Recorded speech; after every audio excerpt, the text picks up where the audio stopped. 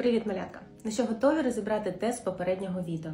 Це навіть не тест, а такий соціальний експеримент, в якому ви представляли собою креативників, що комунікують через зображення, тобто фотографів, ілюстраторів, дизайнерів. А вибір картинок, які я вам дала, являє собою якісь типові приклади візуальної комунікації, які існують у нашому просторі. Давайте пройдемося по варіантам. Ви обрали перший варіант. Скоріше за все, ви сонячна пані, що любить квіточки. Я з вами, я в клубі. Але перед професійним художником, ілюстратором, дизайнером або фотографом частіше за все стоїть завдання промовляти не до себе, робити не те, що подобається мені. А промовляти до інших і намагатися говорити з ними їх візуальною мовою. Ви обрали другий варіант. Я розумію, ви панк, ви хочете пробити систему, ви хочете принести світло правди в пластикову несправжність інтернетного буття. Окей, але давайте рухати індустрію трошки вперед, а не назад в совітський підручник про здорове харчування.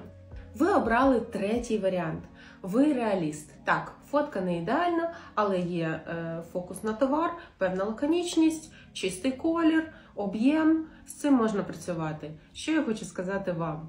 Іноді треба взяти те, що є, і зробити з цим те, що має бути. Але найцікавіший для мене результат цього тесту в його передбачуваності. Річ у тім, що нашого очевидного лідера і переможця я створила за 20 хвилин з чотирьох різних фотографій, взагалі не для Макдональдсу, як ви всі здогадуєтесь. Але при цьому я точно знала, що ви його оберете.